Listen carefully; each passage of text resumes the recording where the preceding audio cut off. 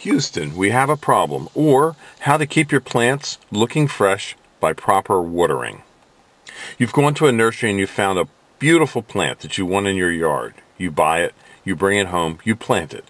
You put mulch around it, you water it, and you care for it. After a few weeks, you go out and you look at your beautiful plant and you find it's changed into this dragon. The leaves are drooped, there's brown leaves on it, it's lost its vigor and luster, and you wonder what went wrong.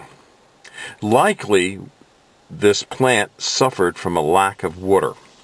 In our nursery, we deal with this problem all the time. But what we try and do is we try and catch the problem before it becomes a major problem. In this picture, there's one tree in this group of laurels where it is stressed. And if you look around and you can see the difference in the vigor between the stressed tree and the hardy trees, you realize that this tree has a problem. So we went over to the tree and we checked it and we found that it was not receiving water. So the simple solution was to connect the water and run water again to water the trees. And lo and behold, after 24 hours, the tree recovered completely because it was not stressed too hard. At this point, you can correct the damage done to a tree or a shrub when it's just slightly stressed. A hard stress is hard on the plants, so you want to avoid that. The obvious next question is, how do you determine when to water? How do you know how much water to water? And how do you know if the water is being effective? Well, simply put, it's not when you water, it's not how much water you use or how long you water. It's does the plant need water? And if it does, how do you determine that? In our nursery, what we do is we walk around and we observe the plants. We want to see the plant that's not performing well. We can have a hundred plants in the nursery that are all performing well, but we're looking for the ones that are unusual, the ones that aren't doing what they're supposed to do. Those are the key indicators that we use to determine First and foremost, is the system working correctly? Is our watering working correctly? Or do all the trees need to be watered? Or is it just this one? We'll go over to this tree and we'll test it. We'll look and see, first of all, is our watering system delivering the correct amount of water at the proper intervals? Or is there some reason why the watering system isn't working?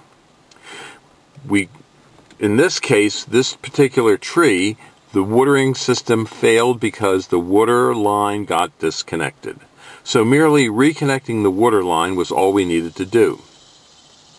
We like to test all the other trees as well at the same time, and we do this with a finger test.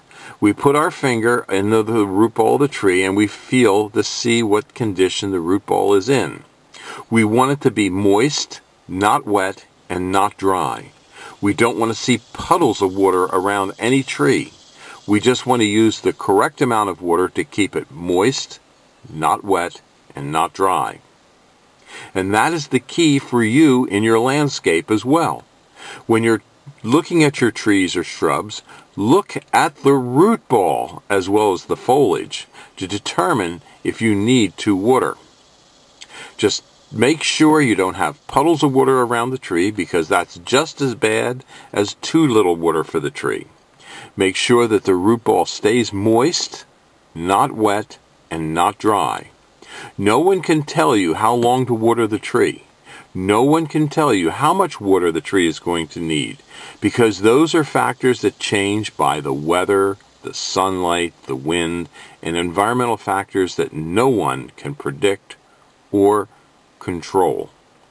So your job is to control the water by giving the plant the water it needs when it needs it. If you have any questions, give us a call at 215-651-8329. We'll be more than glad to answer your watering questions. We also have watering kits that we sell so that you can water your trees properly. And we also deliver and plant our nursery stock to many locations on the East Coast. We also have seedlings for beginners, and we can ship UPS, common carrier, or on our trucks.